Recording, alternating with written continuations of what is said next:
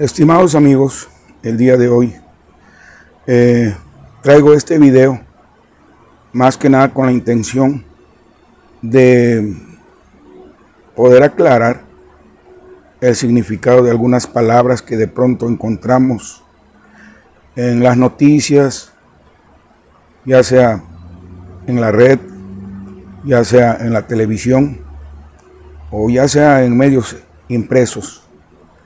En esta ocasión vengo a hablar de la palabra hegemonía. Quizás muchos ya la conozcan, pero estoy seguro que una gran mayoría de personas, quizás si la ha escuchado, no, no sabe qué significa. Pues bien, hegemonía significa el poder de un Estado sobre otro Estado.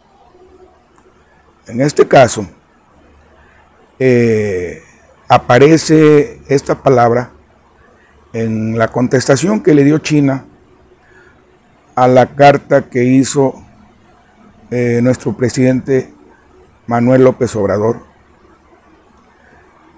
En esta carta de contestación, China se dirige a Estados Unidos diciéndoles que se dejen de esas prácticas hegemónicas con México. ¿Qué quiere decir? Hegemonía, como dije en un principio, quiere decir el poder de un Estado sobre otro Estado.